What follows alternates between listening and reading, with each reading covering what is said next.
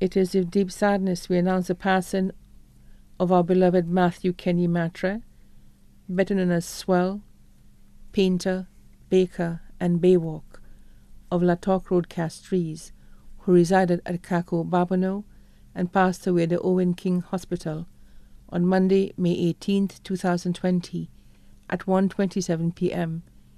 He was 49 years old. Left to mourn his beloved wife, Anthea Mathurin, his beloved sons, Richie Mathurin, Shaquane Mathurin, of Leon Hess Comprehensive Secondary School. His beloved daughters, Ria Mathurin, of Sir Arthur Lewis Community College, Shemaya Mathurin of Babonneau Secondary School, Carla Alexander in Labrie, Zana Alexander of the United States.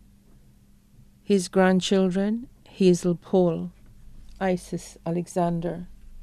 His sisters, Muriel Sampson and family in Martinique, Andy Sampson and family, Esma Sampson and family. His father in law, Levinus George.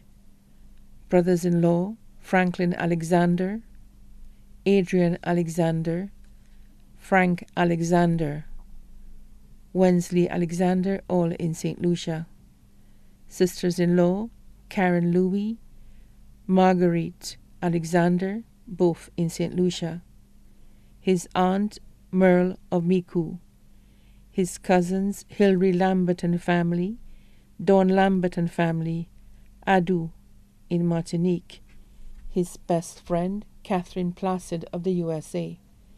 Friends, Kim, Boy, Valerie, Norris, Latoya, Kenneth, Tony.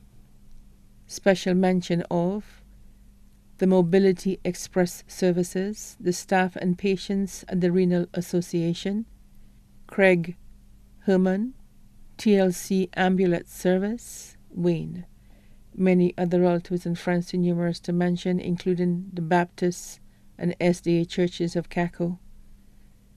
The funeral service for the late Matthew Kenny Mathurin, better known as Swell, painter, baker, fatman, and baywalk, will be conducted at the Bethany Seventh day Adventist Church at Cacao Babonneau on Monday, June 1st, 2020, at 2 p.m and thereafter the body will be cremated at Rambally's crematorium, La Viejo.